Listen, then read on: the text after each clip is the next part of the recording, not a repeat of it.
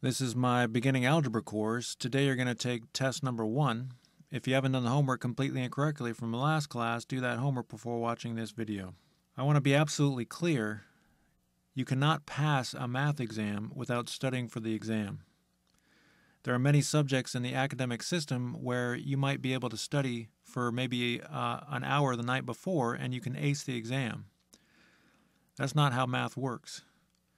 With mathematics, you need to go back over all the problems and make sure that you know how to do them. Now, a lot of students will look at a problem and they'll look at the solution to the problem and they'll say, "Yes, I know how to do it," and then they'll just go on to the next one. That's that's not how uh, that's not the proper way to study for a math exam. When you go back to and look over the problems, you actually have to do the problems. You have to do the entire problem to make sure that you can do the problem completely and correctly. When it comes to math exams, you need to prepare days ahead of time because oftentimes you'll come across something that you don't understand and you'll have to go back and figure it out, and that takes time.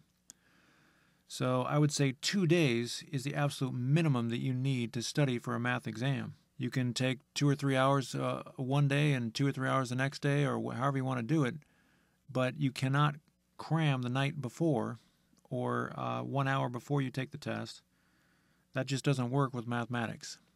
So if you haven't studied for this test, don't take the test because you're just wasting your time. And if you've only studied for maybe one hour, don't take the test because, again, you're just wasting your time.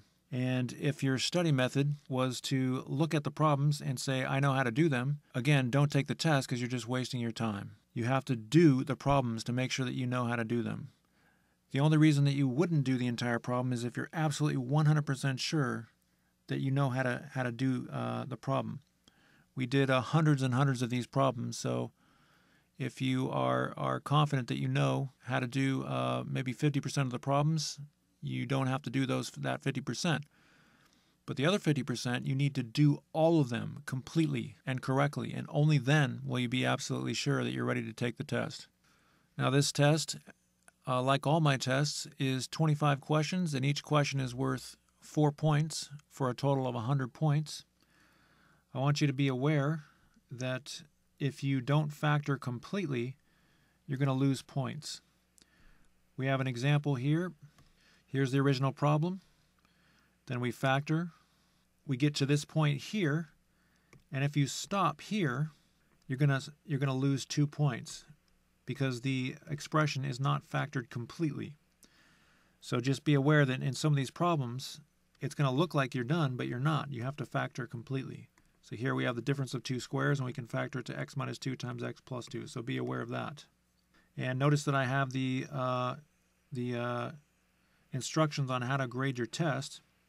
You want to look at these instructions before you take your test. And you can actually look, I'm going to have these instructions. You can probably uh, take a screenshot of these instructions and you can have them right next to you when you take the test. That's, that's okay. Please be aware that you're going to lose points if you don't write your name. You're going to lose points if you don't write a title for the test, if you don't write the date, if you don't write the course title, so on and so forth. If you don't circle the problem number, if you don't rectangle your answers, as usual, these are all things that you're going to lose points on. I require you to do these things in my courses. This is just basic stuff that you need to do whenever you take a math exam. So, with that said, let's go ahead and look at the exam and you can take screenshots. Notice the instructions. I want you to uh, keep a. I want you to staple the cop, a copy of these questions with your with your final answers. So you're going to use this uh, test, and you're going to have a separate piece of paper, and you're going to uh, write all your work on on a separate piece of paper, and then you're going to staple this entire exam to that paper and keep it for the rest of your life. So here's the the test. Get a screenshot of that. And also a screenshot of these last four problems. So you want to clear everything off off uh, the table. You should only have paper and a pencil, no computer, uh, no textbook, no help from anybody. You need to do this on your own, and the test should take somewhere between one and two hours. Also, I forgot to mention that in many of these problems, there's a there's a part A and there's a part B. So part A would be worth two points, and part B would be worth two points for a total of four points for that uh, problem. Now, before you take the test, I just want to give you an example of uh, a problem that students might have trouble with. For example, let's say that you see something like 1 minus x squared or negative x squared plus 1. Do you know how to factor this?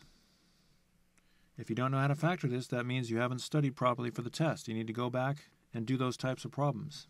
That's just one example of a problem that you would get uh, on this test uh, where you might not be familiar with it, but again, it's one of the problems that we did. All right, so go ahead and take the test. You have the instructions on how to grade the test right next to the test here. You can look at that while you take the test. And when you're finished with the test, we'll uh, look at the answers and we'll talk about how to grade your test. All right, we're back.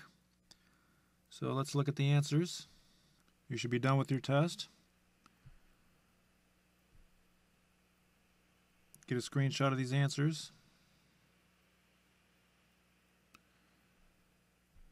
Again, here's the instructions on how to grade your test.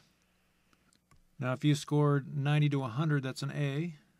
That means you know the material really, really well. If you scored 80 to 89, that's a B. That means you know the material, but you have a few minor issues you need to work on. And if you scored 70 to 79, that means you know the material, but you have some major issues you need to go back over. And if you scored anything below a 70, that means you don't know the material, and you need to go back and do tons and tons of uh, problems to make sure that you know this stuff. So what do you do?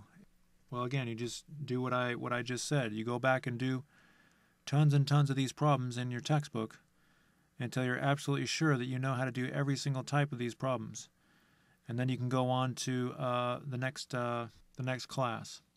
But uh, whatever your grade is, you need to record that because that would be your actual grade if you were taking um, any course in the country. This is just how things are graded. So you need to keep track of how well you're you're doing in this course by by writing by keeping a record of your your your uh, test score, and then you're going to keep a record of all your test scores and add them all up, and that's going to give you an idea of how you would actually perform if you were taking a, a course in school or a course anywhere. So I just want to tell you, if you didn't do very well, that just means that you probably didn't study for the test. 99% of the time, that's what it means. You didn't study for the test. If you didn't do well in this test, you need to start improving quickly, or else you're just going to be wasting your time in this course. Now, if you did do well in the test, I'm very proud of you. Good job. If you didn't do very well, again, you can go on to the next class, but you need to start performing pretty quickly here. So, all that said, I'll look forward to seeing you in the next class.